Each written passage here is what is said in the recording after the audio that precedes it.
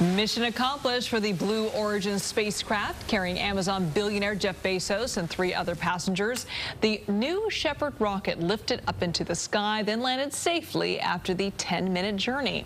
Well, lots of excited space fans had their eyes glued to today's launch. And KPIX5's Kiet Do caught up with some of them at the Chabot Space and Science Center that is celebrating another galactic victory. Jeff Bezos is not the only one making big news today. Chabot Space and Science Center announcing they're on track, four months away from their grand reopening. They say they are reinventing the Space Museum experience. But first, that historic rocket launch.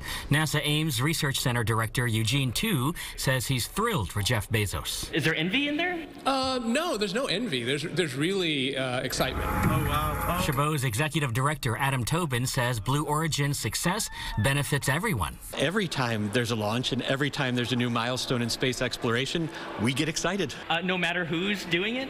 No matter who's doing it. Back here on Earth, it may not look like much now, but when it's done, the new NASA experience at Chabot promises to boldly go where no museum has gone before. But this is really different. We're not looking just to put a, an artifact or a museum piece in that will talk about the history. We're looking to make this experience something about current and the future as well.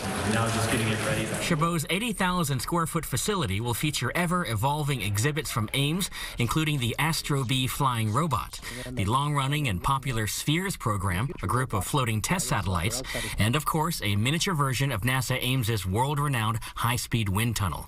And young students, listen up. NASA Ames will be on the lookout for the Bay Area's best and brightest. Potentially have a pipeline of high school interns at NASA, and maybe they will choose a career path in space, maybe not. Even if they don't, they'll gain from that knowledge and, and gain from that in whatever their future endeavors are. And I remember my first time here, I was like, wow. Sage Mosley and Lily Zhang say for many kids, the exhibits will put a career in space within reach. It's definitely going to, like I said earlier, spark like a huge amount of interest in these kids. I feel like STEM seems kind of like an intimidating career path maybe, and like I think having museums like really helps the gap. Maxwell Edmonds Dradi says the new exhibits may inspire kids who don't know what they don't know. Do I want to be an astronaut? Do I want to be a chemist? I don't know because my school doesn't have a program for either, but like Chabot gives that to you. Chabot says ultimately it's about giving kids the confidence to go on to do amazing things. The ability to formulate your own questions, your own curiosity, and then see that through, through experimentation, through testing, through trying, through uh, uh, just bold pursuit of your ideas, that's empowerment. In Oakland, Kiet Do, KPIX 5.